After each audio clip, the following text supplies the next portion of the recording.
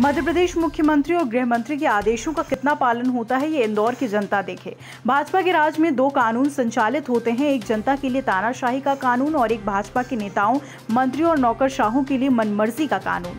मुख्यमंत्री और गृह मंत्री के आदेशों का खुल्लम खुल्ला मज़ाक बनाया जाता है। मुख्यमंत्री शिवराज आदेश निकालते हैं कि 14 अगस्त तक किसी भी प्रकार की सार्वजनिक कार्यक्रमों का आयोजन प्रतिबंधित है।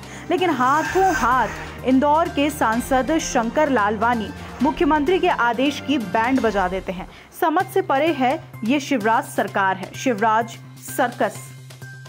जिसे देखो, शासकीय आदेश के खिलाफ नया कर्तव्य दिखाने निकल आता है। सिर्फ़ जनता को हर काम की मनाही है। ना व्यापार कर सकते हैं, ना त्योहार मना सकते हैं। लेकिन भाजपा के नेताओं के लिए तो कोरोना संक्रमण वरदान साबित हो रहा है।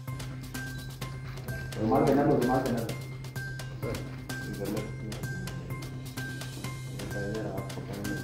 नहीं बात करो ठीक है ठीक है हो गया नहीं तो थोड़े थोड़े करिए